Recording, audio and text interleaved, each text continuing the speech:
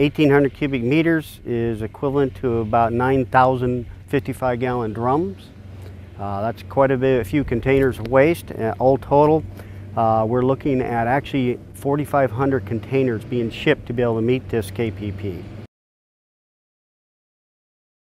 With the cast of, and team we've put formulated, uh, it has come together real well. And uh, in fact, as you can see, we're, we're at the middle of July right now, two and a half months to go to the end of the fiscal year, and we're, we're, we're supposed to complete today.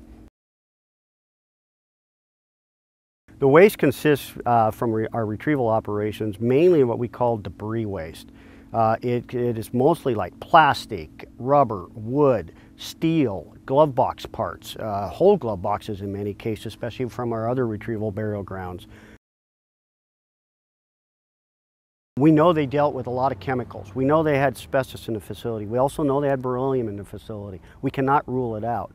That's why we have to put warning labels on all of our containers like the beryllium uh, suspect warning label, the asbestos, uh, as well as the hazardous waste label for RCRA.